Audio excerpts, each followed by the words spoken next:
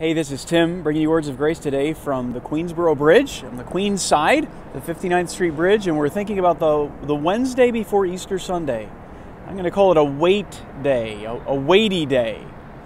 Uh, we think of, of weight coming upon something, and look at this structure behind me, kind of wonder how much weight this thing could hold. Uh, no doubt, quite a bit of weight.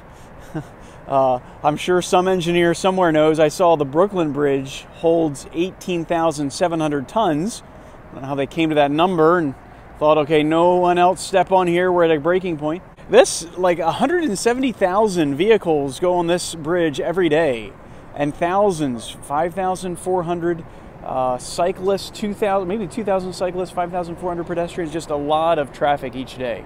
When we think of Wednesday before Easter Sunday, I think of it not as a wait day in the sense that not much is given, uh, not much is recorded about that day. In fact, you follow the gospel events, and a lot of Sunday, Monday, and Tuesday is developed, and then a whole lot of Thursday and Friday. Right, the Gospel of John gives five chapters to just Thursday evening, but not much Wednesday. And so we think of Wednesday as a silent day, as a waiting day. Uh, no doubt a lot of planning and conspiring is going on uh, by those who are going to put Jesus to death. But I think of it as a weighty day in the sense that Jesus is really feeling the weight of the world coming upon him. Thursday night, he is going to even buckle under that weight in the sense in his humanity as, as he's emotionally handling this, he is going to sweat drops of blood and, and cry blood so much emotional, spiritual pressure is being placed upon him.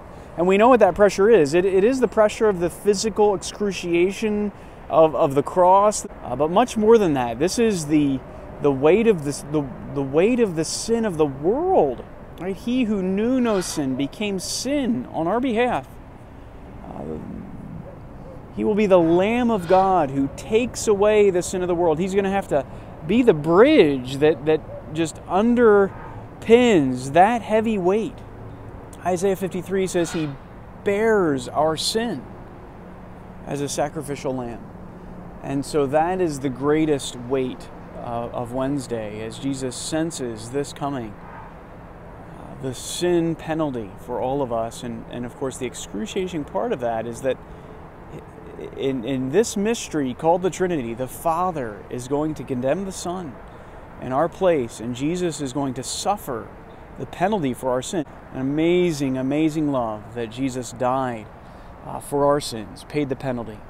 And no doubt we think of Wednesday, we think of Jesus sensing that and feeling the weight, the weight of the world beginning to press hard on our Savior's shoulders.